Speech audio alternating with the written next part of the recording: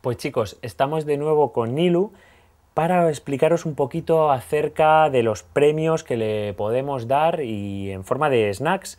Realmente lo que hemos hecho es, eh, sabéis que en capítulos anteriores hemos hablado un poco de la alimentación de las chinchillas y en ellos hemos dicho que también toman pequeños frutos y frutas y diferentes vegetales que encuentran en el bosque y eh, lo que hemos hecho es como forman una pequeña parte, una pequeña proporción de lo que es la dieta y ellas todas las novedades siempre le gustan un montón, las hemos incluido, las hemos deshidratado y os las hemos ofrecido pues, en diferentes tipos de snacks que os voy a pasar a detallar sin extenderme tampoco mucho. Son básicamente premios que pueden formar parte o jugar dentro de la dieta de todo lo que puede consumir la chinchilla. Aquí tenéis el ejemplo en fresco de estas verduras y frutas que hemos deshidratado.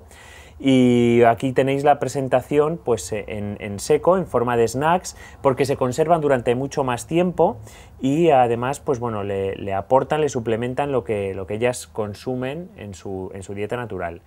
En primer lugar, la ensalada natural, que está compuesta de un, heno bastante fibroso para el desgaste dental y muy verde a la par, muy, muy apetitoso, que tiene zanahoria también, tiene, tiene rábano y tiene col.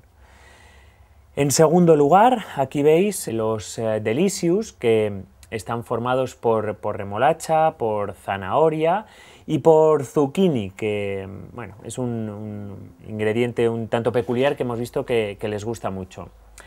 En tercer lugar, muy novedoso, estos eh, treats o cubitos que les encanta, pueden incluso llegar a jugar con ellos trasladándolos de un lado a otro. Se conservan muy bien porque vienen muy secos, que están compuestos de, heno, de zucchini y de remolacha.